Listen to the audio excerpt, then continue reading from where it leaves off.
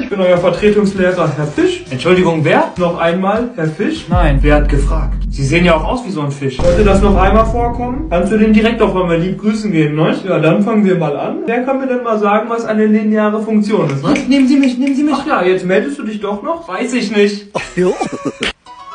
Herein? Das gibt einen Schulverweis, ne? Ich meine, einmal die Kopfbedeckung bitte abnehmen. Herr Fisch meinte, ich soll Sie lieb grüßen. Ach, das ist ja lieb von ihm.